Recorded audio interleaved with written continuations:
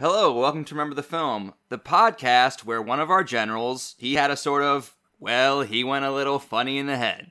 You know, funny. And he did a silly thing. Uh, we're that podcast. Uh, my name is Josh Bradley.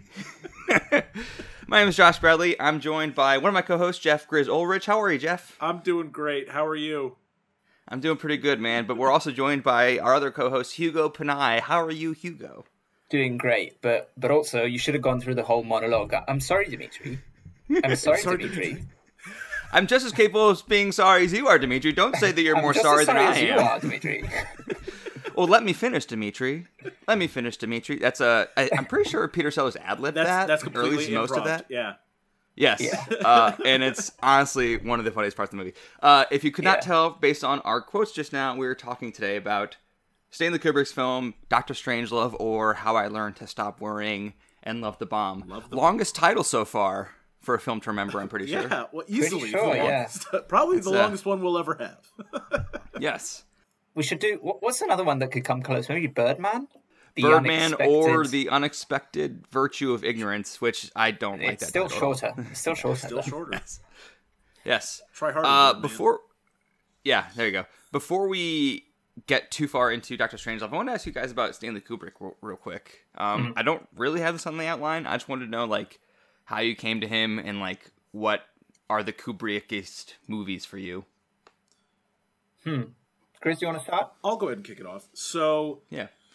I started watching Kubrick movies because I want to watch classic movies, and it wasn't out of a Mm-hmm. desire particularly to watch those movies, but because I want to, you know, have seen all the important movies of history, right? And I'm nowhere near done with that, obviously. But uh, so that's what that's what got me into watching some Kubrick films. Uh, I I really feel like there's two Kubricks in in my mind. There's the one that does movies like Doctor Strangelove and Paths of Glory, and you know even Full Metal Jacket to to some extent. And then there's Kubrick who gets a little weird. and he Yeah, did he does. 2001 and he did Clockwork Orange and I definitely like normal Kubrick better. Normal Kubrick. This is, so this is normal Kubrick. this is normal Kubrick. This is th- Okay. this is the kind of like in the sense that I think Hugo's normal and this is the kind of movie Hugo would make. Sure. Hugo, what do you think about that? The mo- kind of movie you would make. Interesting. No, oh, the kind of movie I would make would be way more insane than this. Uh, give me all the insanity the, and the weirdness, please. Um, What's your Kubrick history, Hugo? I I love Kubrick. Uh, I think the first movie of his I watched was uh, Full Metal Jacket. I think because I watched it with my dad or something. It's Mhm. one of those that I watched way too early, but uh, it was hilarious for us because we, we had a lot of fun just making fun of the whole first hour half. And Yes. I, I, I remember like I don't I didn't remember the second half of the movie after that first watch. I just remembered the first time and I thought it was a hilarious comedy because I was a child and I didn't understand the uh, implications of what the movie was trying to say. It's kind of funny. It's It's really funny. yeah, it is really funny. It's just that especially if you don't know what the movie's getting at, it can be really funny. Um, but also in general, I think all Kubrick's films have this really dark, uh, twisted sense of humor that I enjoy. Um, and yeah, I've seen I've seen nine of his movies. Uh, the ones I haven't seen are Lolita and uh, I think well Fear and Desire and the Yeah, first thing, few things that he made. first But things he made. I haven't seen Um. I think every everything that I've seen from him is absolutely fantastic, and it, the, the the level of variety that even though you can always tell it's him to some extent, just because of how meticulously everything is shot and edited, and there's also something in the acting that he gets out of his actors where it it it I don't know I don't know if I would call it overacting, but it it feels theatrical quite often. It's not as naturalistic as other directors. uh, Funny you would mentioned be. that because George C. Scott, uh, when asked about this movie, uh, Mm. said that he believed that he was overacting and he didn't he didn't like doing that, but Kubrick kept Right. telling him, "No, go bigger, Yeah. go bigger." Yes, And I, then I think he, After he seeing it definitely enjoys that. years later, he's like, "You know what? This might be my best work." Yeah, Well, actually, what I read on that topic is that George C. Scott was doing those big over the top takes because Kubrick told him they were only practice and they wouldn't actually end up in the finished movie. yeah, And then he used them in the finished Oh, movie. And like. George C. Scott, like George C. Scott didn't work with Kubrick again after this, ostensibly because of that. But like he also may have acknowledged later that was one of his better performances. 'cause I think it is. and yeah so I, I think the level of variety of genres that he's able that he's been able to tackle is extremely impressive. I think are very few directors who have gone into different types of films and different genres and made something so successful in that genre. Like he's made one of the best costume dramas one of the best science fiction space movies three of the best war movies. He's made one of the best horror movies of all time. And it, i think that's just really impressive. And there is something intangible about his work that just draws me in and that I really appreciate. I, I don't exactly know how to explain it, but he just puts you into a world in a way that very few directors I think can do.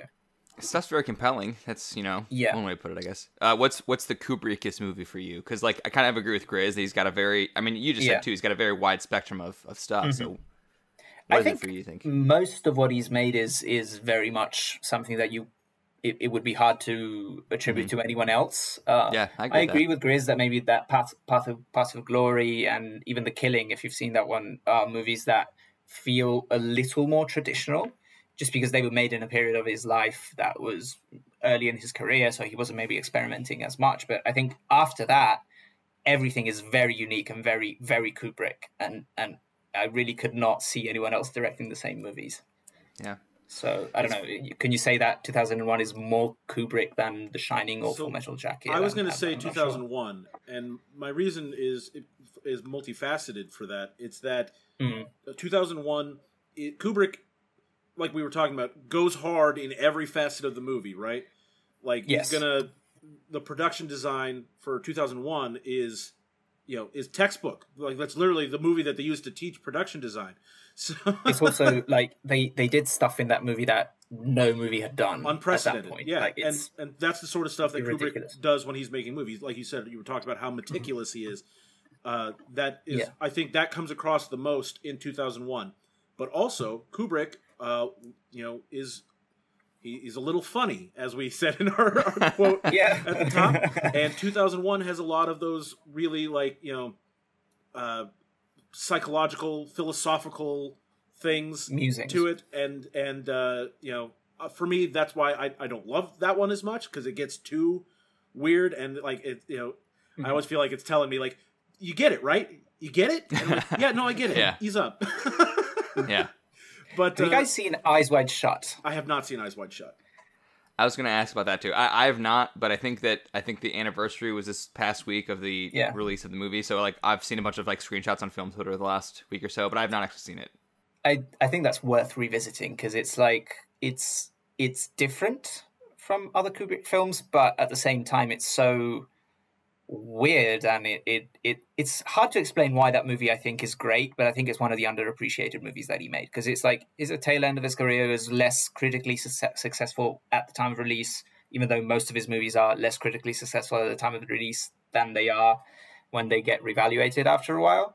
Um, but I think that one is is one that that you guys should watch. It's like this weird, like sexual thriller psychological thing, and I, I think it's really good. Right.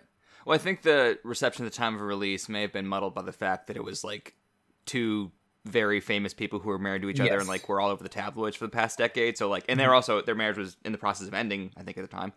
Yeah. So like that may have kind of muddled reception of the movie. But I, I agree that it's kind of been reassessed in the last you know twenty plus years, and uh, I really do need to get to it. I actually learned this week when I watched Doctor Strangelove, it's like uh, HBO Max has most of Kubrick's movies because Yeah. most of his movies were, w- were Warner Brothers, so uh, most of them are up there. I haven't seen Lolita or uh, I also haven't seen Barry Lyndon, but yeah, I mean, um, I have. yeah, his movie, hi- like like you guys said, his movies are incredible, and he's you know got Yeah. maybe the most one of the most important directors of the last fifty years. Um, Which one is your Kubrickiest? Well, I was gonna say that I, I think I first came to him through 2001 and A Clockwork Orange because, like, you know, when you're discovering movies, those are two movies that come up, I think, pretty early on in like the the canon uh, Yep. when you're like first discovering the canon. And so when I learned that the same dude made those two movies, I'm like, oh, okay, I need to learn this guy's name, I guess.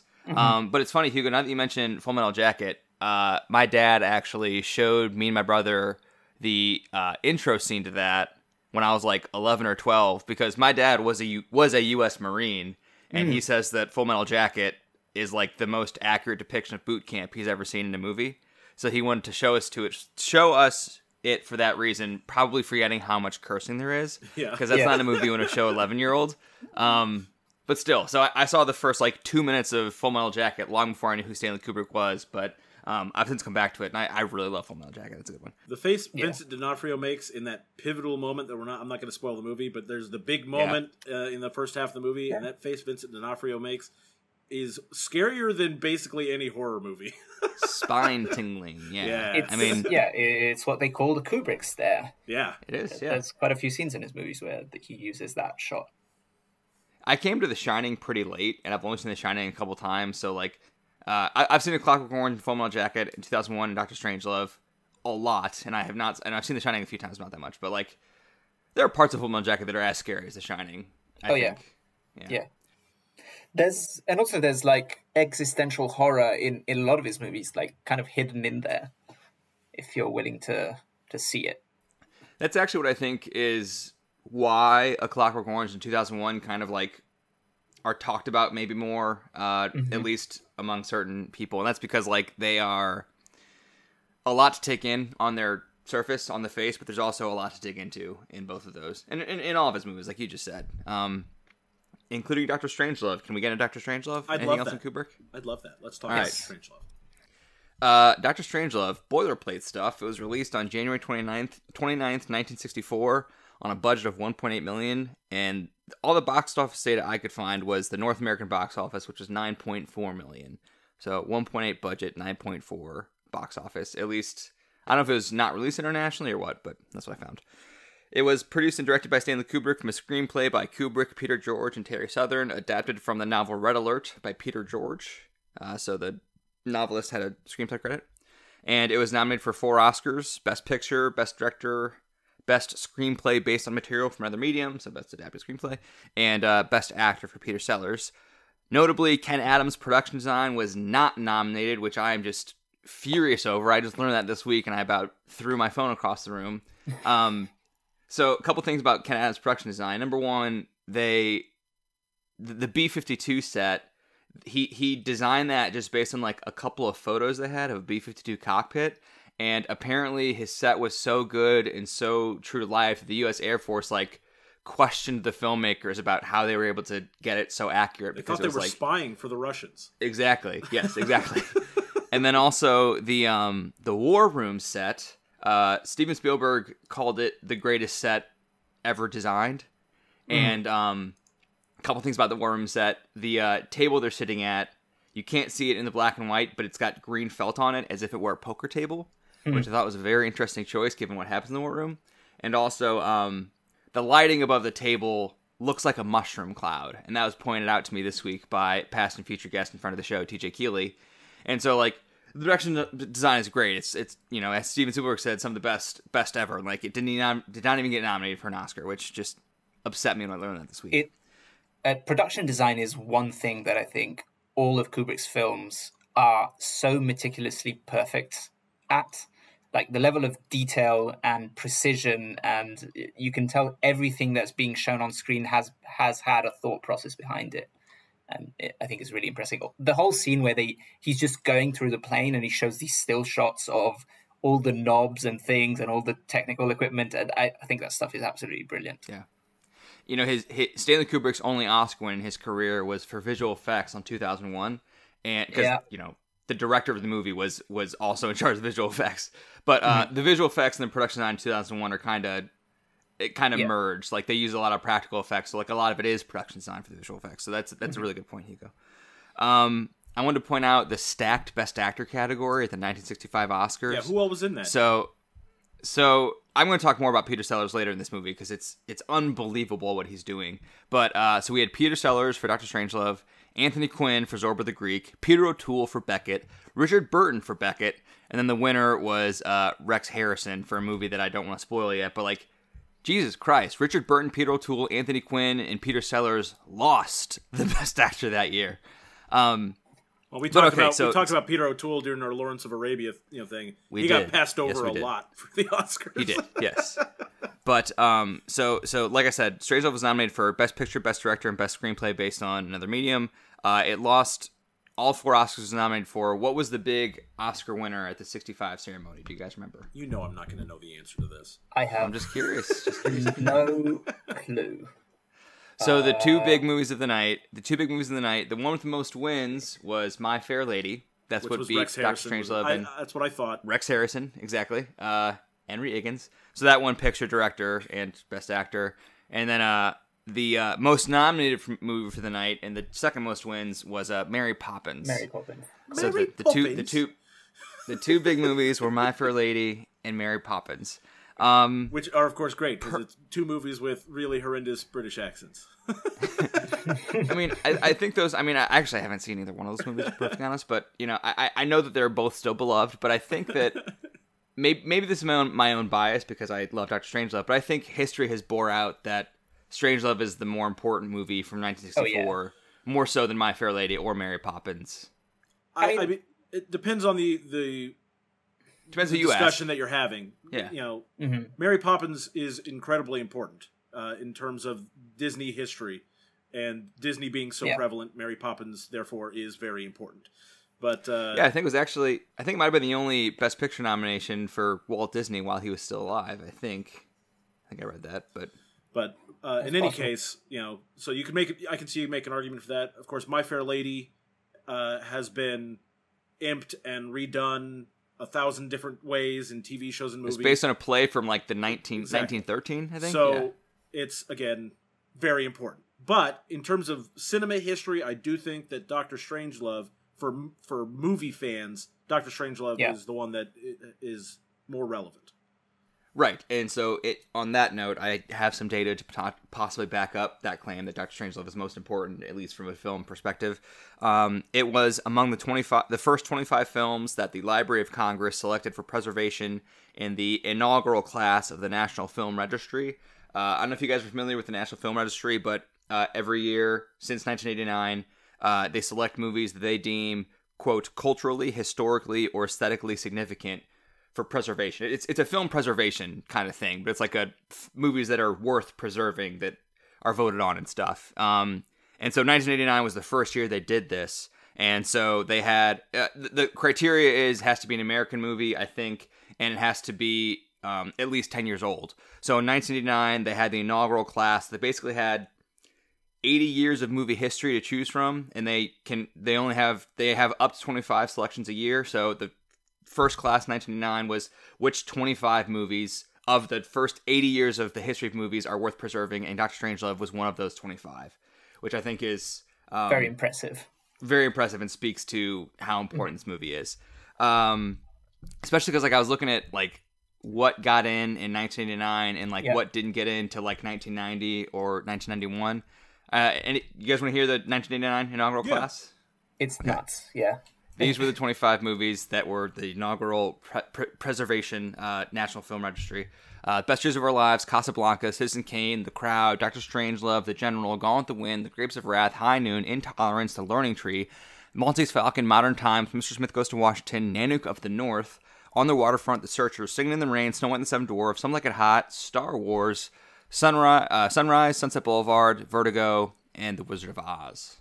So, Fun fact: the only place where you can actually find the original Star Wars. really? George Yes, Lucas 'cause the- modified the actual film when he did Yes. the, the new editions. in in the film registry they have the original original version of the film because that's the film they wanted to preserve the one that came out in theaters in 1977 and then it's gone so it's there and nobody will ever see it i guess Well, you can thank the National Film Registry for preserving that before Yeah. Lucas could get his hands on it and, you know, do whatever he does. i Um, I, love george but Also, uh, you know, I've cited the AFI Top 100 before. Uh, Doctor Strangelove was number 26 on the 1998 list, and then it dropped to number 39 on the 2007 list. And for the record, I don't think My Fair Lady was on either list. No, Mary Poppins was on neither list. My Fair Lady was like number 90 on the 98 list and then fell off for the 2007 list. So just going off AFI, Doctor Strangelove is the best of those three big movies from from 60, 64. Um, also, AFI has a top 100 funniest movies list of all time from from 2000, so it's kind of old at this point. But uh, Doctor Strangelove was number three, behind Hmm. us, behind Some Like It Hot and Tootsie, just ahead of Annie Hall, Duck Soup, and Blazing Saddles. Um, Okay. I'm cool with that. I I think this movie is hysterical, personally. I don't know. I don't know about you. I do think this movie is very funny, but I, I find it Yeah. that it's not like laugh out loud funny most of the time. Most of the time, I think it is actually. I mean, I, I I laugh out loud a lot of it. but Uh, but I see your point. I don't think it's. I don't think it's a better example of comedy than Blazing Saddles or It's it's a different thing. It's a different kind It's of very comedy, I guess. Yeah, It's very different. it's more uh, satire and parody than Yeah. it is just comedy. But I think it's hilarious, especially like the first time that I watched it. I also found like I think the commentary is what sticks out the most. But watching it a few times over, it it, it certainly it becomes funnier and funnier because you start noticing the individual lines. You start seeing like the signs "freedom is our- uh, no peace is our profession" in the army base and that kind of thing. That is just really funny. Did you see what uh, Turgidson's binder is labeled at his seat in the war room? What the label is No, in I can't binder? Uh, targets and Megadeth. I'm pretty sure is the uh, is what's on his binder. Um, okay, so Hugo, you were just kind of going into like your personal history of the movie, where you said you used to think one thing about it, now you think a different thing about it. But I, I want to know what you what how, you know when you guys saw this for the first time, and uh, you know Mm-hmm. what your history of this movie is, if you have one. Yeah, I only saw it first time uh, a few years ago. I for some reason I I hadn't gotten around to it yet. Um, Yeah, I saw when I, saw a Letterboxd I saw a Letterboxd review from like 2019. I want to say. Yeah, so yeah, exactly a few years ago, and I, I mean, I had seen it at when I was younger, but I did not remember much of it, and I also I would seen it in Italian on TV with ads or whatever, so it, it's not really the same experience. Um, the first time, as I said, I think what stuck out to me the first time was very much the the the commentary and the satire, but the comedy didn't really get me that time. Watching it again, though, I started noticing all the little details that are really hilarious, like all the lines, all the all the names are a little reference, uh, the the movements that the characters make, uh, the, even just the faces uh, that some of the characters make during dur- during scenes are just so hilarious, and even all the uh, the monologuing about the water and you know I only drink distilled water. It's like all that stuff. The second time around is much funnier to me. So this time I you know I gave it a five star rating on on Letterboxd now because I, I think it's it's both uh, comedic genius and one of the most poignant uh, political satires of of I don't know of the century of cinema in general. So I, I just think it's absolutely brilliant. Personally, I completely agree, but I want to Yeah. hear what, what Grizz has to say. Grizz, is, was this the first time you've seen this? This is the first time I've seen it all the way through. Okay. In high school, in my world history class, uh, we had a day where we, we, we the teacher you know, said, "Okay, we're going to watch Doctor Strangelove," uh, and we watched the, the class. The class was only fifty five minutes, so like obviously we couldn't watch it all in one sitting. So we watched the first half. And she said, "We'll finish it next week," and we never finished it. So oh. Terrible. Yeah. Terrible. So I, I'd only seen the first half, and uh, so this was the first time I got to see it all the way through. I agree with a lot of what Hugo's saying. I, I loved it. It, it like we, we were talking about. It, it is very funny, and uh, I was my. Uh, I guess we're, we're going to get to it here in a second. Our tweet length uh, thing. Yeah, if yeah. I share mine now. Yeah, give me give me your tweet length review of I the mean, movie. my yeah. my tweet length review was uh, I can't I, I can't decide if it's cool how relevant this movie still is today or sad. uh, I say sad, but also sad. like it makes the movie Yeah. better. So It's like yeah. the movie is better because of how relevant it is, but it's also really Yes. sad that this movie is still this relevant.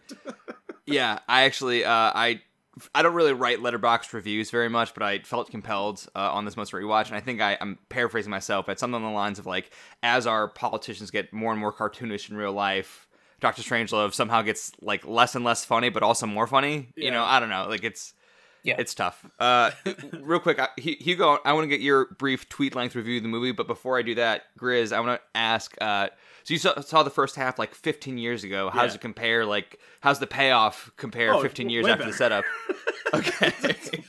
like That's watching cool. it the first time, I was like, you know, the, the I didn't at the time I wasn't a huge movie buff, so like I'd, I'd heard of Doctor Strangelove, but I didn't know how important it was. I didn't know what kind of movie it was, and the teacher didn't bother telling us. She's just like, you know, we're watching Doctor Strangelove today. Press play, and so like I didn't Yeah, know what. I was watching, and especially in the first half of the movie, it's not entirely clear that Correct. it's satire until a pretty Yes. good ways into the movies. Yes. so I was like, oh, Yeah, okay, yeah, yeah. this is kind of boring. is- it is definitely the kind of movie that n- kind of needs some sort of introduction.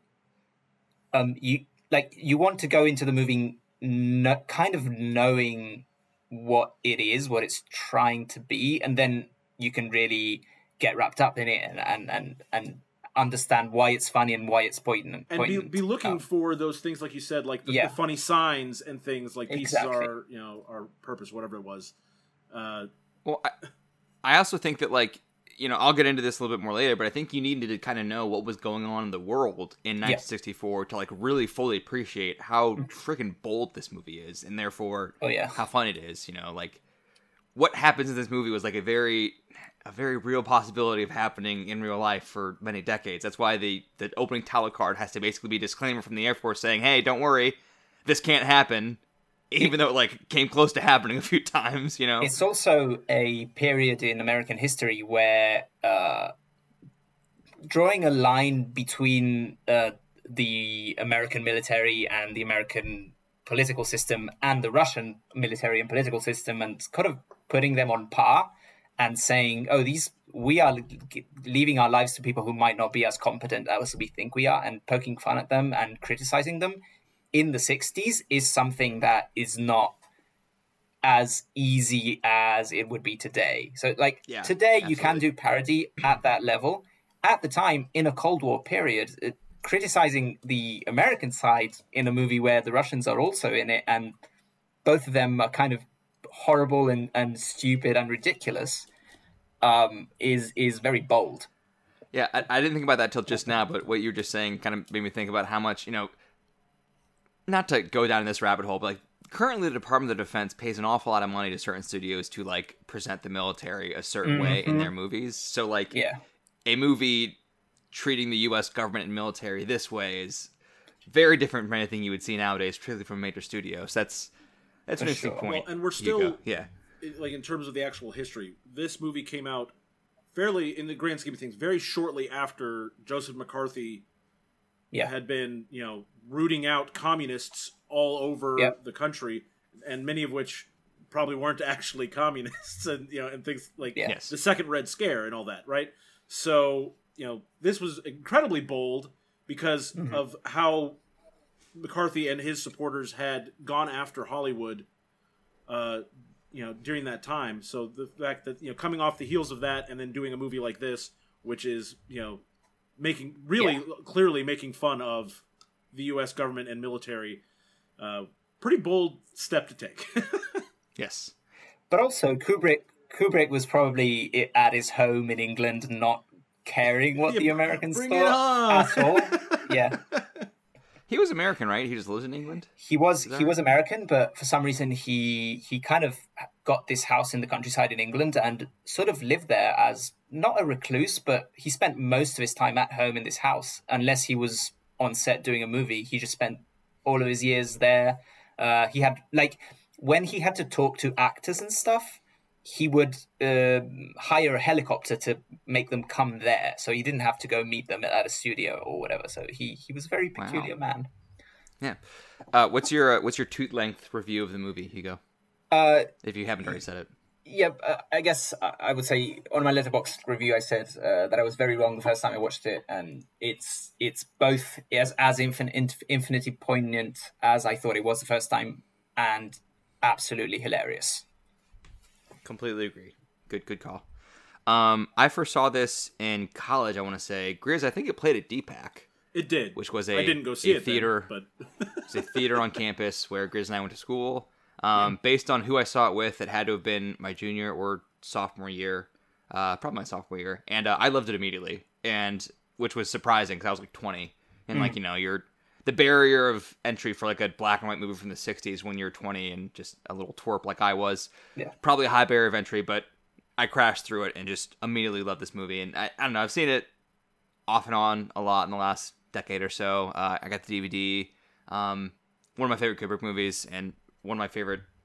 I don't know if I'd say one of my favorite comedies because it's horrifying, as we've Yeah. discussed. But you know, um, I'm just so in awe of it. Like every time I watch it, I'm so impressed, and I feel like I pick up new things. And as we've discussed, like watching it in recent years kind of feels a little different than watching it in 2010 because I have a different opinion of our political leaders now than I did 10 years ago. So um, it gets scarier every year, but it also gets funnier every year for that same reason. Um, I don't know. It's awesome.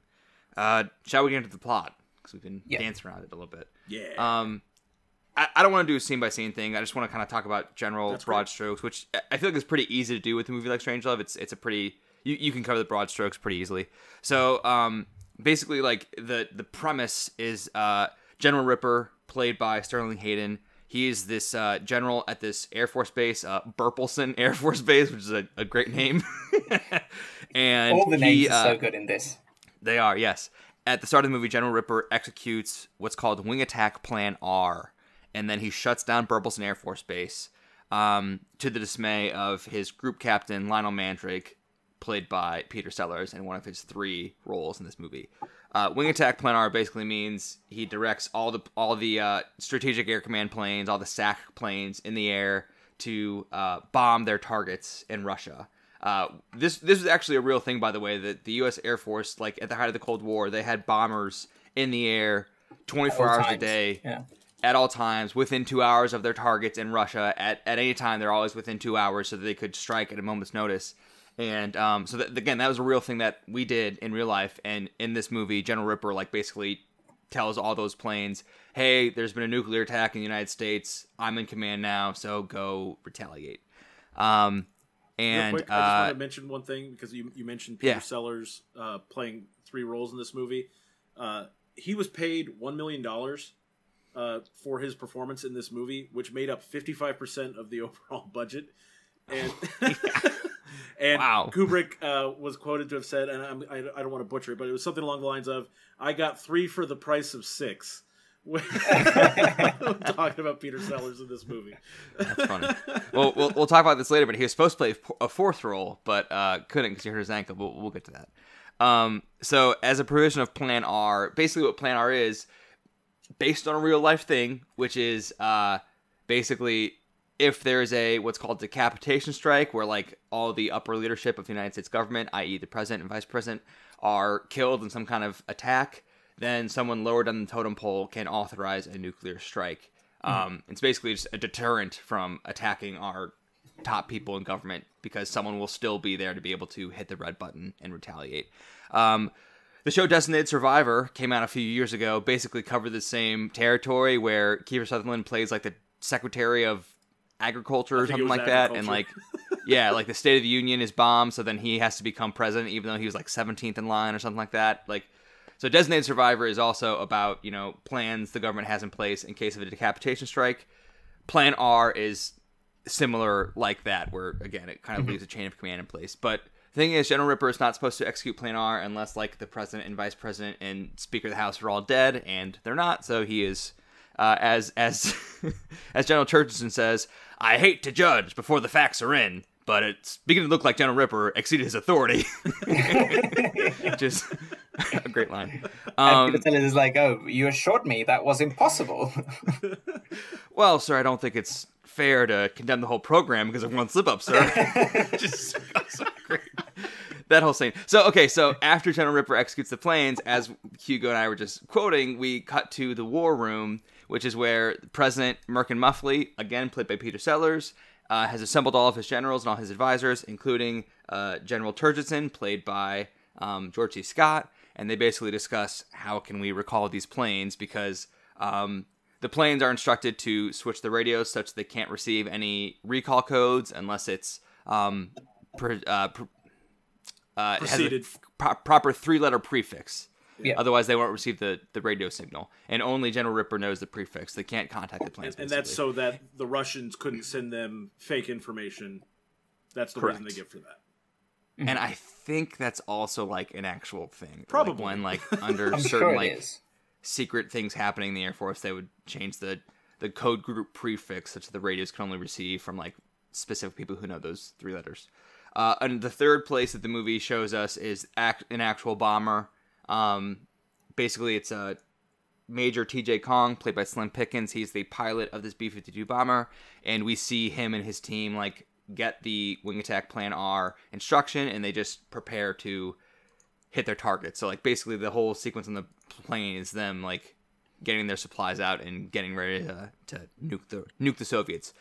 Nuclear combat toe to toe with the Ruskies, as T.J. Kong says. Um, so it's basically the movie jumps back and forth between those three things: uh, the bomber, the war room trying to prevent the bombers, and uh, Burleson Air Force Base, which is where General Ripper kind of holes up, and Mandrake tries to get him to, you know, call the planes back.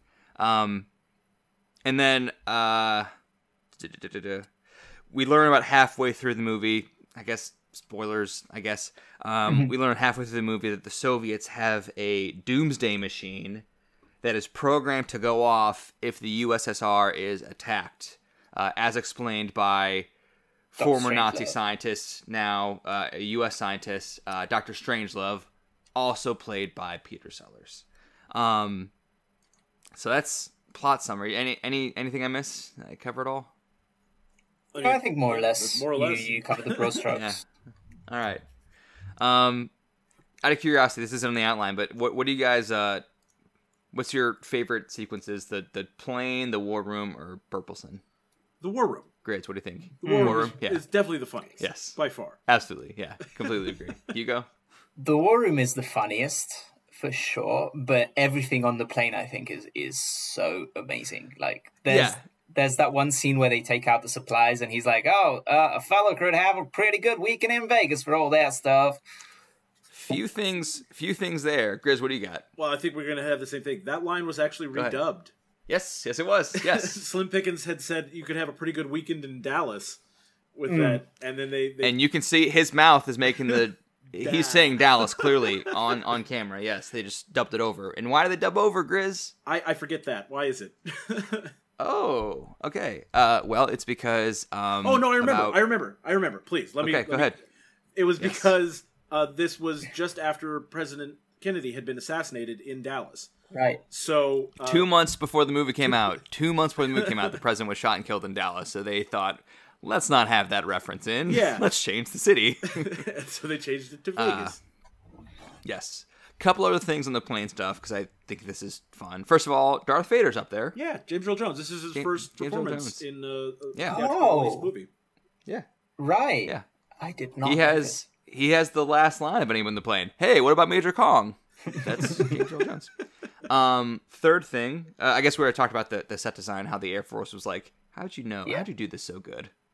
Yeah. Yeah. Um, fourth thing, uh, as legend goes, Stanley Kubrick did not tell Slim Pickens that the movie was a comedy. Yeah. And so Slim Pickens doing his "Let's get on the hump, we got some flying to do." That voice is like him playing it straight, like he thinks he's in a serious movie about like nuclear combat with the Soviets. Uh, which, in in his defense, and uh, um, he. The people in the plane are the only people in the movie who never interact with either George C. Scott or Peter Sellers. So, like, I can kind of buy they wouldn't like know exactly what kind of movie they were in. Uh, go ahead, Grizz. What do you got? Well, so two things on that. One, uh, James Earl Jones, in an interview about this movie later, uh, said that uh, he, for decades after, he did not realize that Slim Pickens wasn't doing a character, and that was just how he talks. so I thought that That's was right. really funny. I, think he was like he was like that- a a Western surprise. star. yeah, he's a Western I think he was like a Western star, yeah. And and Kubrick very smartly just plucked him straight from his westerns and put him in the cockpit and filmed. Uh, But- and the result is great. the other thing was I, I think that everyone in the in the bomber it's important to the the quality of the of the film and the message of the film that the people in the bomber don't realize they're in a comedy uh, because that that's what makes it so funny is that these stupid morons that are actually calling the shots are putting these people who are taking things very seriously and trusting them that they're being given the correct information and before they go and do commit a, a war crime Yeah. uh, you know, so like it's important to the overall message that those people are, Are very serious very about what they're and- doing. and don't realize how ludicrous this whole scenario is. So last thing about that plane is uh, Peter Sellers was actually supposed to play T.J. Kong. It was supposed to be a fourth role, but he I think hurt his ankle, and so Right. he couldn't like sit in the cockpit for extended periods of time. So they did recast the role. I wonder what that would have looked like. Um, you know a, a fourth role as, as this guy because like you said it's it's kind it's it's a fine line between you know TJ Kong is ridiculous but he doesn't know he's being ridiculous he thinks he's Mm-hmm. playing it straight and I wonder what like where the line would have been with Peter Sellers I don't in that think it could have worked as well because Peter Sellers had to know that this is a silly situation because all the other characters he's playing are kind of silly. Yes. So okay. So I I was reminded of this, and this is important to talk about in the context of this movie. Roger Ebert, in his review of Doctor Strangelove, I think it was a years later review, um, he said that a person wearing a funny hat isn't funny, but someone a person who's wearing a funny hat and they don't know that they're wearing a funny hat, that that is what's funny. So like that's I think an important distinction to make in Doctor Strangelove. Like TJ Kong, like I said, is absolutely ridiculous and hilarious, but he doesn't know he's being ridiculous, and like that's the, the disconnect is what makes it funny. And like uh, the the famous line, "Gentlemen, you can't fight in here. This is the war room." I love that. So ironic, funny line on the surface. Like it's an ironic, funny line on the surface, but like the fact that he delivers that line with absolutely no sense of the irony in what he's saying, he delivers it completely straight. That's what makes it even more funny. Yeah. and like Oh, yeah. basically everything with George C. Scott also like he's being this ridiculous animated character, but he thinks he's being like a serious person, and he's not. And that's why the the, the, the contrast is where the comedy really comes from. That's Um, where the satire comes from because it's like Yes. the idea is all these people are very self-serious and they think of themselves as highly trained, uh, extremely competent, but to the eyes of the outsider, they're absolutely ridiculous.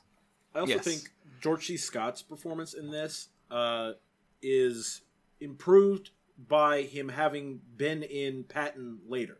So it's not something they would have Yeah. been able to appreciate when when Strangelove first came out. But us, with you know hindsight, we we've all I'm sure we've all seen clips of George C. Scott playing General Patton and the way he plays that general, and then comparing it to the general he plays in Turgidson. this Turgidson, and Yeah. you know, Yeah. it adds to the humor of this movie for me for sure. Yeah, uh, for context, in case anybody doesn't know what Grizz is talking about, uh, the movie Patton came out in 1970. Won Best Picture, won Best Actor for George C. Scott. Among the best acting performances of the 70s, I think is consensus. General consensus, Um, yeah. Yes, and it opens very famously with him giving a speech in front of a giant American flag that I believe they parodied in Space Jam, if I remember correctly from our episode last yes, week. that's so correct. full circle. Um, let's actually just jump to the performances then, because uh, I think George C. Scott is absolutely hysterical in this. Um, I, I love his introduction where uh, he's on the toilet when he gets the call about the attack.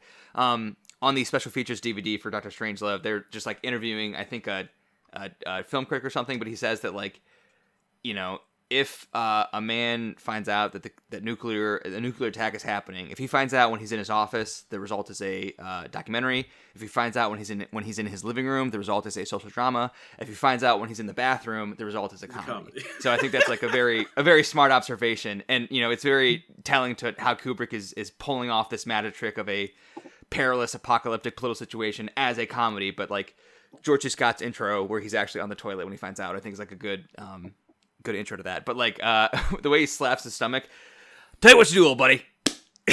Yeah. and like takes that phone call. My It's so good. favorite thing about his performance is how uh, almost casual he is about the fact that Yes. this bomber Yes. is starting, Yes. and he Yes. gets more like initially he's more interested in like the girl that he has waiting for him at home, and Yes. oh, of course, no, of course it's not just physical. Of course, like he gets the phone call. That, that's what he cares about. in the war room. That's what he. That's what he cares about in the war room while they're trying to stop these planes. But Yes. as it becomes more and more apparent that they're not going to be able to stop the planes, he gets almost. Well, we'll talk about this later. I'm sure. I'm sure you have this in the outline. Yes. I do. Yes. He gets more and more, almost sexually aroused by the idea of just destroying the Ruskies and finding a Yep. way to just absolutely annihilate them. We'll And definitely talk about that. his performance gets bigger and bigger, and everybody else in the war room, except for Peter Sellers, obviously, because he's the other character, is playing it completely straight. And they're just looking at him like, What are you talking about, you insane man? My favorite thing about George C. Scott's uh, performance in Doctor Strangelove is how animated he is. Like Yeah. it's, the way he Yes. moves his head is I don't know. It, it's Oh, yeah. very And his and eyebrows. his eyebrows. It's like both very serious and comical at the same time because you know Mhm. uh, it's, you know very sudden and herky jerky movements while he's having conversations. yeah. and I think that adds Uh, to the comedy a, a ton. I'm pretty sure when they're about to bring the uh, Soviet ambassador down to the war room. er, First of all, one of my favorite lines in the movie is he'll he'll see everything. He'll see the big board. the big board. That's a great line. But also, uh, a few moments later, when the ambassador's about to come down, uh, Turgidson like gestures to the board and like falls over himself. Pretty sure that was in the script. I think George Scott just like Just fell down and they just kept going. Um, but like you said, how animated he is, I, I, I agree that uh, he's great. Um, also, shout out to Sterling Hayden as General Ripper. I think he's awesome. And like Grizz, to your earlier point, like if you only watch the first half of this, based on Sterling Hayden's performance, you kind of don't really know what kind of movie this is Yeah. because he speaks so like when when he gives that big speech to Mandrake about when we first hear the term precious bodily fluids, he speaks with a cadence such that he's giving this big important speech and he sounds so self-serious and his his cigar is so big Yeah. in his mouth. We'll we'll talk about the cigar later, but He's Uh, he's embodying the type of protagonist 60s movies often had, like this very self, uh, this very strong male character who speaks with uh, a lot of seriousness. So you might not notice that, it, at least initially, that a lot of what he's saying is insane. And makes no sense at all. It feels like he's being, he's, I don't know, the center of attention and he's saying something you should be uh, paying attention to. But when you when you realize what the movie is you realize that everything he's saying makes no sense and that's why like i think this the movie's also very well edited like when they Mm-hmm. decide to jump between uh, location stuff and to exactly your point there hugo he gives this big long speech i can no longer allow the indoctrination you know blah blah blah, blah. he ends that speech by saying uh and the he, he mentions precious bodily fluids for the first time at the end of that speech and then like the audience like wait what He's giving this long, like, Yeah. serious speech about like the communists, and then he says, "Did you just say precious bodily fluids? What?" then we cut Yeah. away, and we go back to the war room at that point. It, it takes a few minutes for like us to return to him and for him to elaborate on what the hell he's talking about, which turns out to be crazy talk.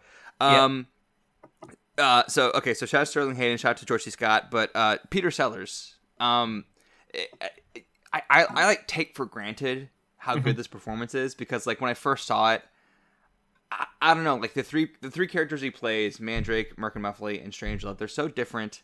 I like don't even like kind of I don't even like realize it's the same person. Like I, I know intellectually that it is, but like I, I don't like see them as the same actor. I You know? g- given that the first time I watched it was you know the, the first half of the movie, and I got zero explanation of what I was going into or anything like that. I didn't notice that they were the same actor at all until Yeah. I like read about the movie later. Right. So his um his performance as Mandrake apparently is based on officers he encountered during his time. So he was actually with the RAF during World War II. So he uh, basically based the Mandrake performance on people he knew while in the RAF. Uh, his performance as Merkin Muffley, President Merkin Muffley, is based on Adlai Stevenson. Uh, Adlai Stevenson was the Democratic candidate for president in 1952 and 1956. He lost to Eisenhower both times, but uh, that's who he was basing that performance on.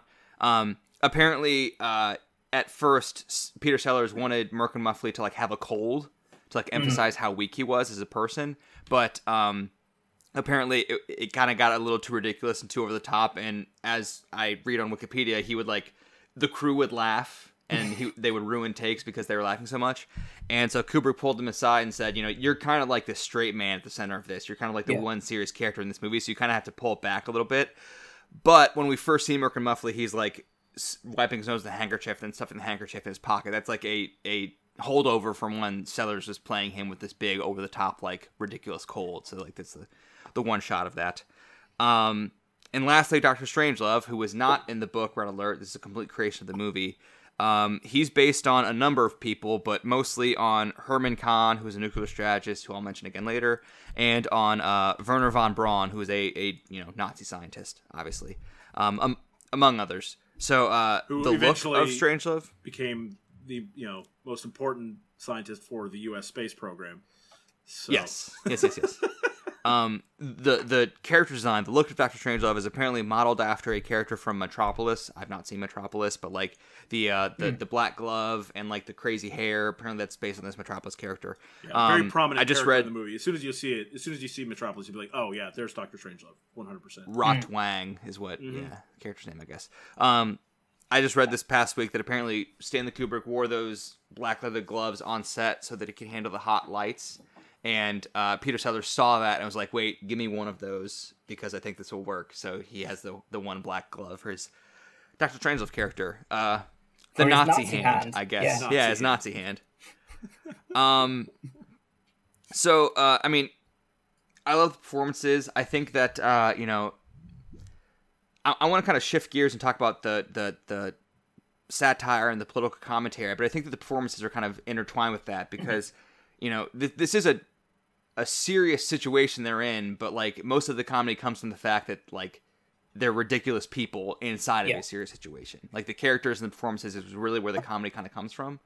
But um, but also like but the fact that he's making this serious situation into a comedy is like kind of like a statement in itself, like a political statement itself, I think.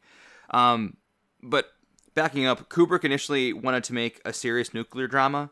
Um, like I, I, I heard, I think this was on the the like behind the scenes DVD extras. Like he read like fifty books on nuclear war or something like that, and like just internalized all that and wanted to make a serious drama. But like as he was adapting Red Alert by Peter George, um, he like found out he found himself like throwing away entire scenes because he was afraid the audience would laugh at this serious drama. So he's like he just kind of leaned into that and decided to make it a uh, nightmare comedy instead of a serious drama. Uh, Red Alert by Peter George, the book this is based on, is not a comedy.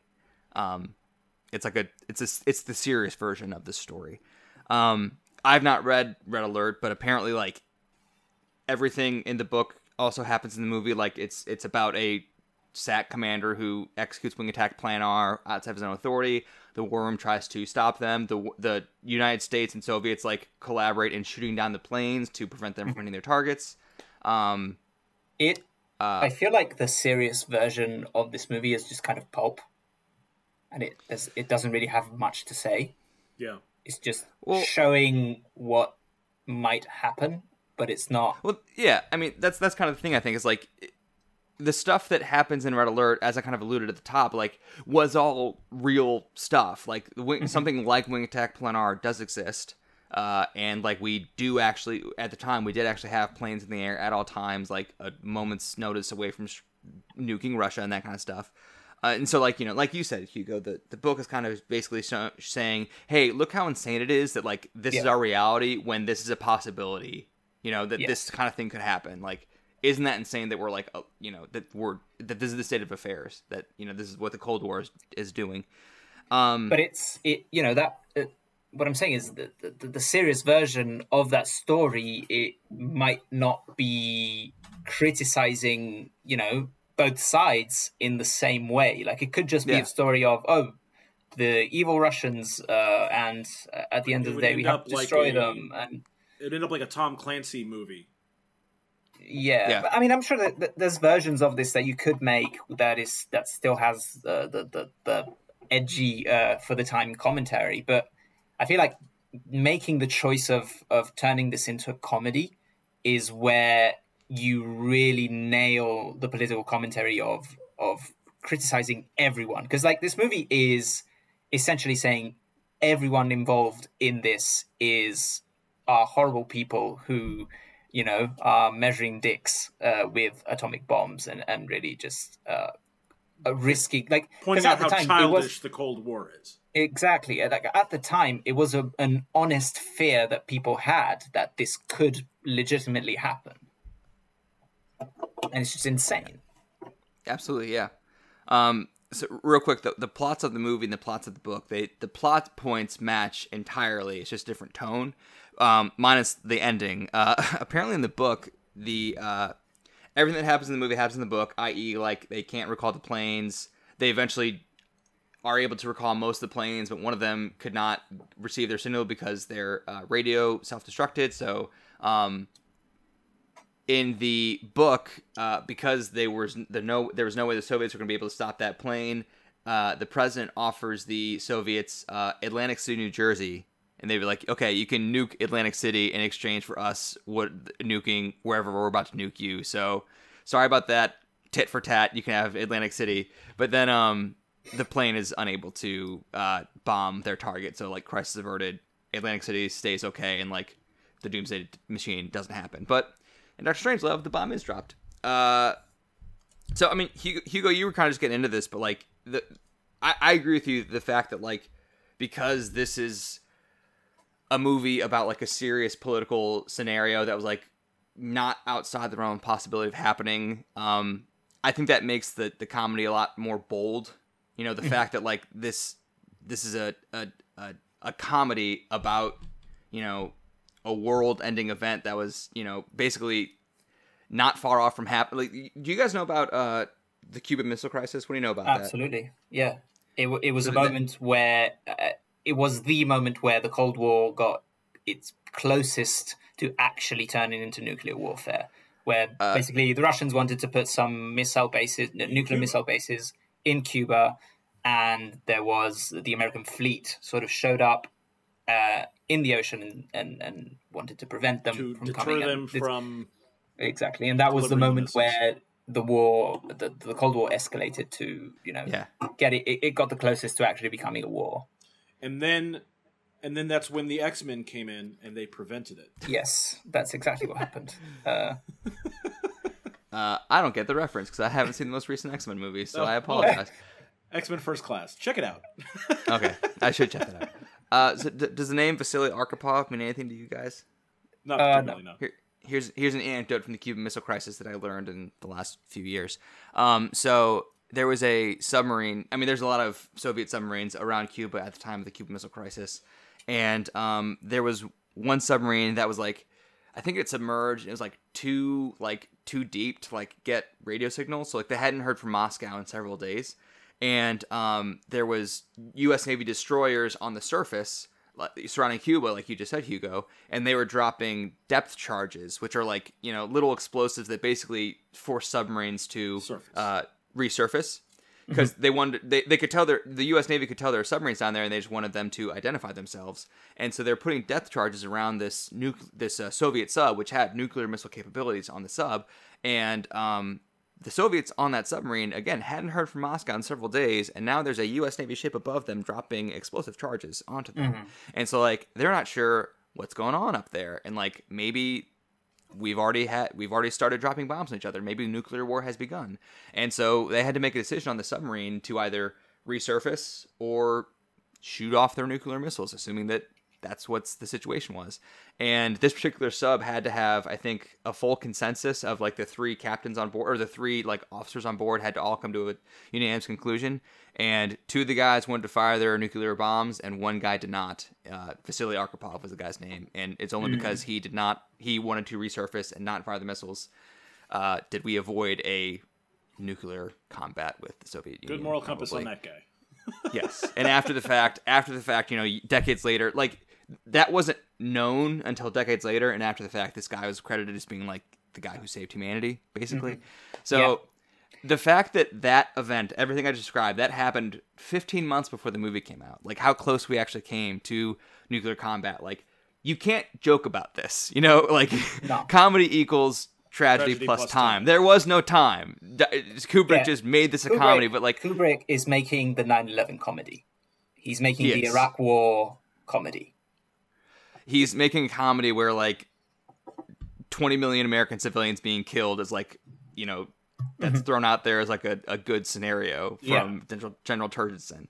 Um, but like the fact that he's like like you said, Hugo, he's pointing out the inherent ridiculousness of like the United States and Soviet Union's foreign policies. They're, it's also, they're decades long foreign policies. How so easily uh, a set of circumstances might happen where the system that is designed to prevent nuclear strikes from starting might not work. And it's yeah. not that far fetched at all that one general would just lose it and, and go on his own to do this. It it yeah. feels like as ridiculous as the characters are, the scenario it feels very possible and realistic. Especially given what we know of, you know, especially I don't know about other world militaries, but in the U.S. military, you know, soldiers follow orders you know, mm-hmm. very strictly. And so if your general tells you to shut down all communications in the base and you don't listen, well, you're going to be arrested and court-martialed and all that stuff. And, uh, you know, so it, it is not unreasonable to think that they'd be like, okay, well, you know, the, why would the general lie about this? Go ahead and shut down communications. And Let's get ready and to I'm sure there anybody who comes at our base. And I'm sure there are many stories throughout history of, of generals going rogue and, and choosing to do something that is outside uh, what that of the chain of command and that doesn't follow what the political leaders want.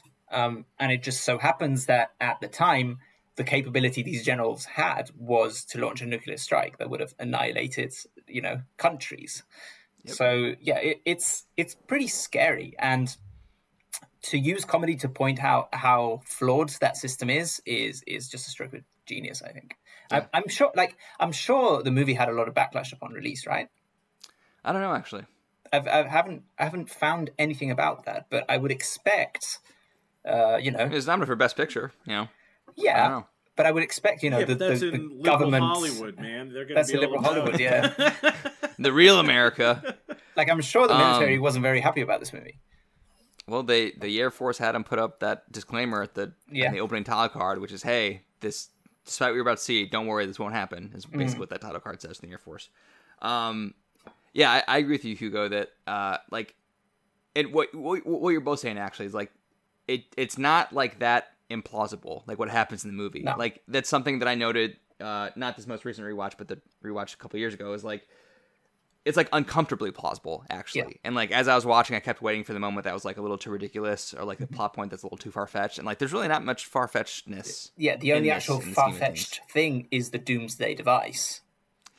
which is that even that far-fetched you know I'm not sure, but it's like Grizz, what do you got? compared to the rest. a device that like can't be stopped Mhm. you know, once it's triggered. Well, no, that that seems a little far fetched. I, I think that someone would be like, no, we should probably have a failsafe.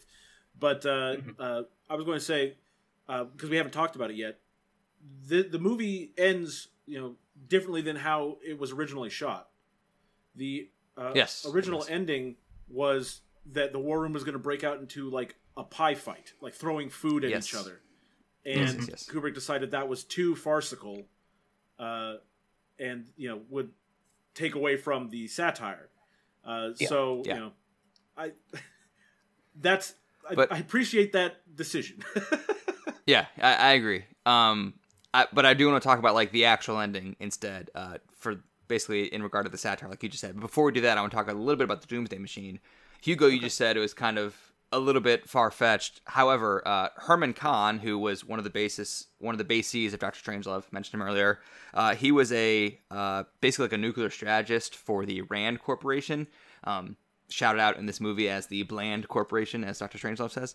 Um, but Herman Kahn came up with the Doomsday Machine as like a rhetorical thought experiment, as a criticism of mutually assured destruction. That's basically, in his mind, mutually assured destruction taken to its logical conclusion is something like the Doomsday Machine. Right. And he wrote a book called On Thermonuclear War that kind of talked about all this, and he was also a consultant on this movie. But uh, in his book on thermonuclear war, he said, "quote I used to be wary of discussing the concept of a doomsday machine um, for fear that some colonel would get out a general operating requirement or development planning objective for the device. So basically, he like didn't really want to talk about it too much. He thought people would be like, "Hey, good That's idea. a good Not Let's do that." Yeah, yeah. um, but yeah, I guess I guess it is kind of ridiculous. But again, to his point, it, it is also kind of just taking mutually assured destruction to its net to its net logical conclusion, which is why you know this is this is a great satire because it, it takes like the existing policies Yeah. and kind of just points out their inherent ridiculousness by kind of showing you like hey this is what you're this is what you're advocating here like this doomsday machine this is this is what you're talking about more or mm-hmm. less so And it's good like, idea with with the real realism, like Doomsday Machine aside, I- I think what's what's really great about how realistic the movie feels is that there's no. If you think about the story as a whole, it might sound a bit much, a bit far fetched, but the movie does a good job at having little moments of escalation where something else goes wrong, some other little thing goes. The the radio gets shot out. Uh, the codes you can't get the codes because only he has the codes, and you know. The Mandrake finds out what the codes are, but you know he can't get on the phone with the president fast enough. Like because he's British. no one will believe him. There's, there's little moments of escalation where the situation gets more and more desperate. That fe- that makes all of it feel more realistic that it that it even might be. Yeah, yeah. Th- those small escalations are all believable. you know? Exactly. And and like that, that's why like the movie's kind of so scary is because like Mm-hmm. the things that go wrong, they're not like crazy far fetched things. Yeah, like, they- like they- you go into it- it Russian goes- territory, you're going to get shot Yeah. at, and it's possible that it hits your radio. Yeah, the th- the things that go wrong go wrong slowly. It's Mm-hmm. not like one. I mean, General Ripper, General Ripper executing Plan R is a big thing, but like everything beyond that is it, it's just pushing the ball forward just enough that you're like, okay, yeah, I kind of buy that, Mm-hmm. and then that ends with eventually the entire planet being uh, killed, more or less, in a nuclear attack. Which, which, as Uh, you said, is a different ending from the book as well, right? Yeah. Yes, in the in the book, the the plane, the basically the General uh, Major Kong's plane is unable to drop their payload, and so crisis is averted in the book. Um, but that would not be in lining in line with what Kubrick was trying to say, so he changed the ending to make that happen. Um, which brings me to my last thing on the outline, which is like the um, y- yes, this, there's like political satire here and political commentary, but I think that the biggest part of the satire is the psychosexual stuff.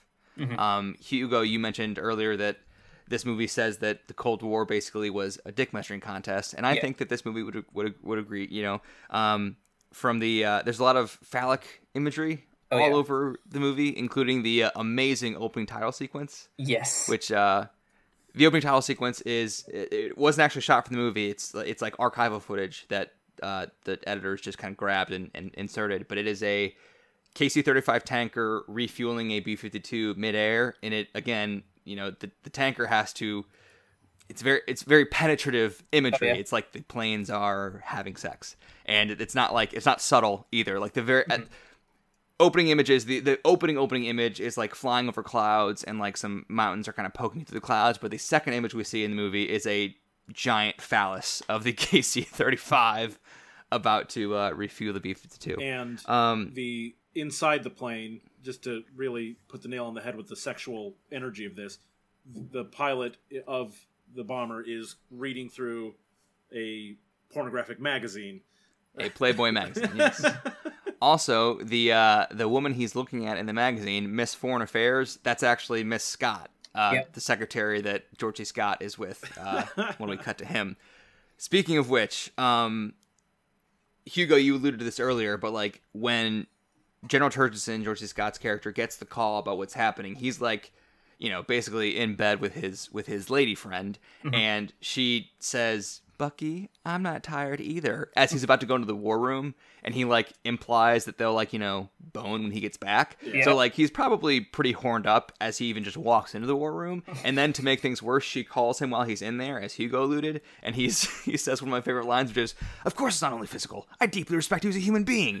But again, she's basically kind of reiterating his horniness while he's in the war room, and um, very shortly after she re- reiterates his horniness, as Hugo alluded, he um, proposes the all-out nuclear strike, and that's kind of the movie's kind of tying those two ideas: the fact that he's kind of getting horned up at the prospect of nuking the nuking the Ruskies, and, as Hugo and said. even once they accept that the doomsday device is going to go off, uh, it, they turn to Doctor Strangelove, who explain this whole explains this whole scenario of how society is going to survive for hundred years, but they're also going to be able to outsmart the Ruskies even in that. Like even once we have nuclear catastrophe and we're going to be in a hole in the ground for a hundred years, we still have to find a way to outsmart them. And We can't It have a into this- mine gap. no, it- Mine shaft mine gap, shaft yeah. gap. yeah, and it turns into this creepy thing where they decide that all the women shall have to be very attractive and there shall be a rate, ratio of 10 women for one man and every man It's- shall it's have to do a lot of children it's the plan to repopulate the earth is yeah. Yeah. they'd have to have 10 women to one man and general turgidson is very uh gung-ho about that plan because Yeah. as he says would that mean we'll have to do away with the so-called monogamous sexual relationship at least as far as men are concerned uh, good point buck Good point, Um, Buck. I want to talk about that, but before we get to that, real quick, uh, General Ripper's cigar. Um, as I kind of mentioned earlier, when he gives his first speech about like why he's doing this, uh, he's shot from a low angle, very like reverent, and he's got this big long cigar that kind of stretches across the frame, and uh, he barely takes it out of his mouth. He he talks with it in his mouth, and then like an hour later, as he's like defeated, the base is you know recaptured, and he's about to go shoot himself. His cigar his cigar is a lot shorter and stubbier, and if you're talking about phallic imagery, that's like a visual representation of his like loss of virility. And uh, in between these two moments, he talks to Mandrake about like why he nuked the Soviets, why he did this, and it's basically because he believes they are poisoning the water supply more or less and making yes with fluoride. And uh, he as he tells mandrake he first came to this conclusion after quote the physical act of love because a supreme tiredness came over him. So Mm-hmm. basically general ripper was tired after sex and his first thought was i must be being poisoned by the ruskies let's nuke them I don't even know. Like, so, I also I feel like what they're hinting at is not only that he was tired after sex, he was tired doing sex and wasn't Yes, able to to perform. He was impotent. Yes. I, I think that's what they're going for. Like it's it's showing all these uh, military leaders who are really doing everything just because they want to affirm their masculinity and virility against the Ruskies. correct um I do not. I do not avoid women, Mandrake, but I do not deny them my essence. Uh, Great Mm-hmm. And line also- from Sterling. I also think it's interesting where he's the most masculine character in the movie, while on the other hand, Mandrake is the most effeminate character in the movie, at least according to traditional, you know, masculinity standards. He speaks with yeah. this very soft, uh, posh British accent. He's a shorter man. He's, you know, he has these very perfect, uh, this very perfect moustache that he keeps. he he folds under pressure pretty pretty badly he badly. holds on pressure pretty badly. Yeah. And just his demeanor is is very very much gives off a more feminine energy compared to Ripper. Yeah, very good call. Mandrake's like low key, I think the unsung hero of this movie. I mean, obviously he's like the literal hero Literal because he hero like learns how to at recall the planes, but also like I, I I always kind of overlook him Yeah. in this, but he's he's great. And and uh, Peter. I, I think it's pretty excellent. because he's in terms of Peter Sellers' performance in the movie. Mandrake is his least hilarious performance. Mhm. Uh, Yeah. certainly in comparison to you know the president on the phone, and then Yes. of, of course Doctor Strangelove being you know comically animated and his you know Nazi hand he can't control and all that stuff. yeah. So Mandrake falls flies a little under the radar. Yes. Uh, speaking of the the phone call, this this isn't necessarily like a psychosexual thing, but like the fact that like the president and the Russian premier like get into a pissing contest on who's more sorry that this is Mm-hmm. happening. Uh, don't say you're more sorry than me. I'm just as capable of being sorry as you are, Dimitri. Uh, that's again Let kind of speaks Dimitri. to yeah. the, the the fact that th- this kind of ties in with like the fact that George C. Scott learns that a nuclear attack is happening while he's in the bathroom. The fact that the Russian premier finds out while he's drunk. Yeah. And so the, the the president has to like talk down to him like he's talking to a toddler. It's like so freaking funny to me. That's why that's one of the better one of the better scenes.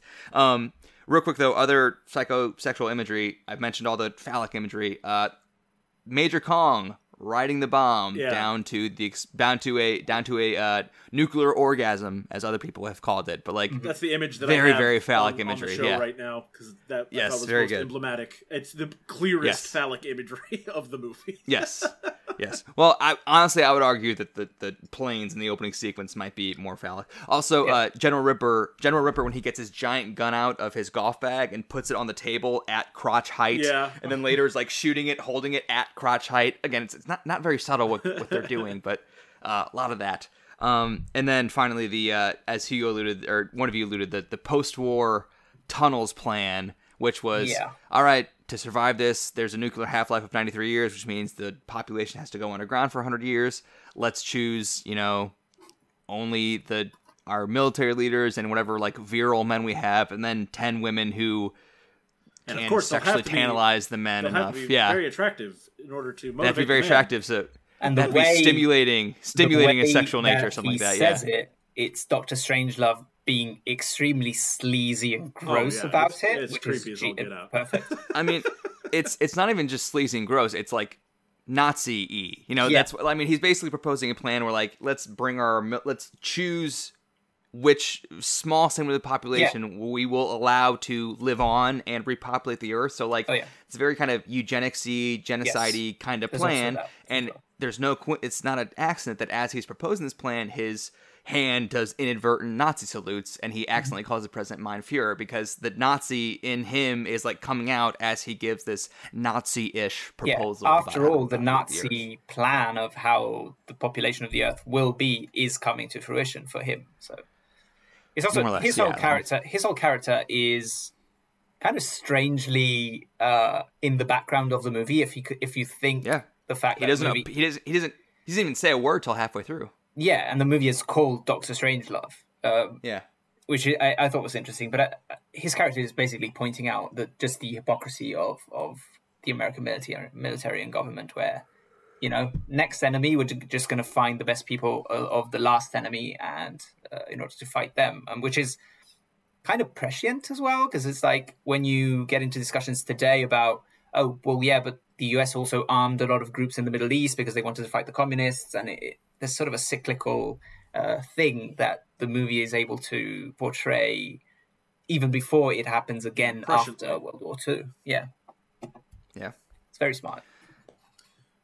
Also, it's also very funny. Uh, you know, Also, the, the way that funny. Yeah, the way his hand like attacks himself, I think is always very funny. And uh, there's a moment where like his right hand is kind of dangling limp, Mm-hmm. and he like starts hitting it. He starts beating his own hand.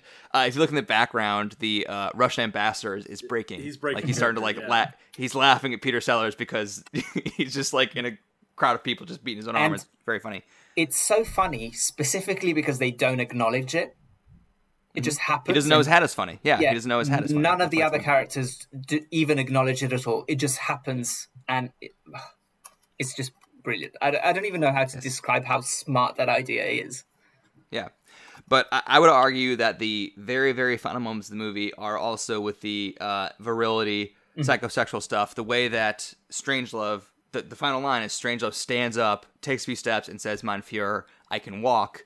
Uh, he's getting so excited at the possibility of having this tunnel system where they'll have 10 women to one man, and all the women will be sexually tantalizing in nature. That he, and you know all yes, that he stands up out of his wheelchair and takes a few steps. That's how like jazzed he is about this Yeah. idea. So, um, again, I think that's kind of the final button. And like Grizz, what, what- the reason I brought all this up is like you said that a pie fight would not really be in keeping with the satire, Yeah. and so ending it here gives the movie a different button, different point, and like ending it on that point, I think really highlights the virility. especially since stuff with that the rest of the movie talking has been like you know it's very clear has been setting up this dick measuring contest about. exactly the entire yeah. movie, ending it Yeah. on the pie fight. While that I'm sure would have been humorous to watch, isn't the the punchline of the movie. So th- this ending uh, is absolutely perfect given the setup, Yeah. and especially with what happens immediately following him standing up and, and proclaiming, you know, I can walk.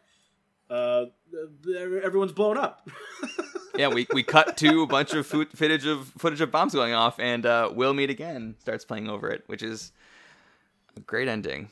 It's so good, especially because of how just jarring the cut is. yeah, It's a very Like jarring that cut. Yeah, doesn't feel like the final line of a movie, but it is. And it cuts, and we just see the imagery and the song, and then the movie's over. and it and the bombs go on for a while.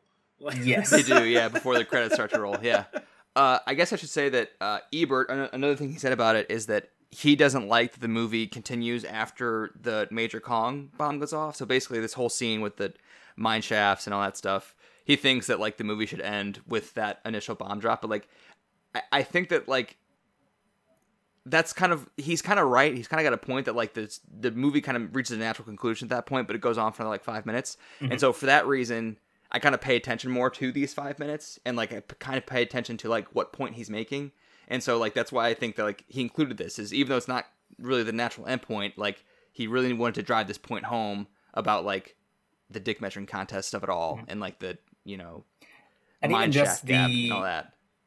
How little these people care for the destruction of the world. Yes. That's and what, what I they think. that's why actually yes. care ending is about perfect. is winning, which is Yes, why it- exactly. it just drives exactly home right. that message that the Yeah. movie has been building to. Even though, like, I agree, I, I agree, it's not perfect in terms of pacing because the natural endpoint does feel like it would be when the first drop bomb gets dropped. and and it's not just winning in terms of a war winning it's winning in that they're going to have a whole bunch of women in their minds Yes. Yeah. that's what's the most important thing to them and just to Right. put the nail on the head that's what's been important to them all along Yeah, yeah. I'm gonna make you Mrs. Buck Turgidson. Yeah. um. Yeah. So uh, I love this movie. you guys ready to rank it? let's rank it. Yes. Uh, I'll, I'll say up front. Uh, this is gonna be my uh, number one. I, I would put this as number one as well, uh, based on our list. It's it's not even my favorite Kubrick film. I No, me neither. Think, No, it's not. but um, just you know, I, I think based on our list, it, it's absolutely fair to put it at number one. based on based on how fun it is, how crazily well it's aged, and how like how bold it is. Like Mhm. it, th- kind of going hand in hand. Number one, it's aged well, but also like how crazy it is that they released a comedy like this in 1964 at the height of the Cold War. You know, so those two things in in, in conjunction, like it's definitely number one for me. And it's also, uh, I, I said this about um, when we were talking about Trial of the Chicago Seven. I, I said that movie is very uncynical about things that I'm very cynical about. And this movie, Doctor Stranger, Doctor Strangelove, is extremely cynical about things that I am extremely cynical about. So it Yeah. really fits right into my, I guess, worldview as well. So So this is my works for me. favorite Kubrick movie. Mm. Uh, so I, I, I did truly love it. Uh, my conflict is that in terms of our list, there are movies that I like better. Uh, Mhm. But uh, just as a recap, our top ten currently: It's a Wonderful Life, nine Citizen Kane, eight The Thing, seven Lawrence of Arabia, six The Departed, five Boogie Nights, four Shaun of the Dead, three Paddington Two, two Silence of the Lambs, and number one currently Ferris Bueller's Day Off. Uh, Thank you for recapping. Yes. so for me, I originally I came in thinking like I I like Lawrence of Arabia better, uh, but Mhm. looking at some of the movies that are ahead of it, I I like this better than some of the movies that are ahead of Lawrence of Arabia. So I think I originally I was going to put it below Lawrence of Arabia. Now I I would put it at number three after our discussion. So I think that would mean that it would average out to still being number one overall. So you're putting it Or number a- two. ahead of Had Paddington 2 uh, behind Silence of the Lambs. behind Lambs. Silence of the Lambs and Ferris Bueller's Day Off. So it'd be number two? yeah, I guess it would Alright. go number two, yeah. Okay, well then it's in All the right, number two so- spot. Let's do number two. Yeah. Ferris Bueller, holding on strong. So Ferris Bueller is not unseated by. All right, we got two comedies up at the top. Yeah. We like comedies. Really? We like comedies. Our top five is really comedies now. We got Ferris Bueller. Oh, not Silence of the Well, Lambs. no, Silence of the not Lambs is very much not a comedy. Comedy. very Silence Four of of our funny, Lambs. but- Four of our top five are comedies. This is cool. Yeah. Ferris Bueller's Day Off. Doctor Strangelove, Silence of the Lambs, Paddington 2, Shaun of the Dead. We also happen Well, to cool. just pick some of the best comedies. So Well, yes, of course. I guess that's why. They're worth remembering. Mhm. So, What are we remembering next week? speaking, yes. Speaking of which, uh, next week, Another uh, comedy. kind, Kind of a of. comedy. I mean, Yeah. well, I'll be curious to see what you guys think of it. But uh, in honor of James Gunn releasing the Suicide Squad uh, coming up, I thought it'd be fun to go back to his first directorial debut, which was uh, Slither from 2006. Um, and also, just full disclosure up front, uh, I happened to go to the same high school that James Gunn went to in St. Louis, and I was in a film class in the fall of 2007, so shortly after Slither was released. So James Gunn came to our film class and like talked to us about Slither in 2007. So like I thought that was like the coolest thing that ever happened. So that's probably a reason why I really dig this movie still 15 years later. But uh, we'll see what you guys think of it. But I just want to disclose that information that I have some insider reasons to enjoy the excited. movie Slither. But I do. I think it's great. So I'm looking forward to it. I do like James Gunn for some of his other movies, like Guardians of the Galaxy. Sure. Or, you know, of course, some of I love Guardians. Yeah. for the MCU. Yeah, But yeah, of course. Uh, you can find me at Good Game Grizz on Twitter. I would love if some people would follow me on Twitter because then you'll also get updated on when I'm doing stuff on Twitch, which is also Good Game Grizz. Ooh. what about you, Hugo? Hugo? There you go. Uh, you can find me at Hugo uh, underscore Pinai on Twitter. And you can find my other podcast, I'm So Tired, which came back after a bit of a hiatus there. And uh, la- latest episode, we talked about Loki, uh, Black Widow, and the future of the MCU. So if you're into that, check it out. And yeah, A lot of follow me on people are into that. as Well. Uh, you can find me on Twitter at Brosh Jadley. I think I'm on Letterboxd too, but I don't, I don't really know. Um, and uh, my YouTube channel is Movies I Love. So can you? Also, I probably should have pitched at the top, but uh, I have a video on Doctor Strangelove that I made Oh, nice. two ish years ago. Um, so most of the stuff I talked about here is based on my research and stuff that I said in that video. But check that out, uh, Doctor Strangelove video. I did also Here's what you forget. I, I wanted to mention I'm on another show on YouTube. Pop XP uh, is the n- name of the channel. It's Pop the Week in Pop. Want to shout that out because we talk about a variety of movies and TV. It's all like you know some current stuff mixed with some hidden independent gems that uh, you may have missed. A lot of cool stuff on there. You should check us out on there as well. Check out Pop XP and also check out Remember the Film next week as we discuss Slither. Thanks for listening, everybody.